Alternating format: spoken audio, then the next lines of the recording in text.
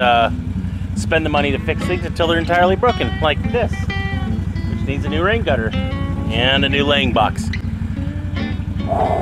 Totally my fault. I thought I was good to go. I totally forgot about the uh, extra two foot clearance that the laying boxes give us. Ugh.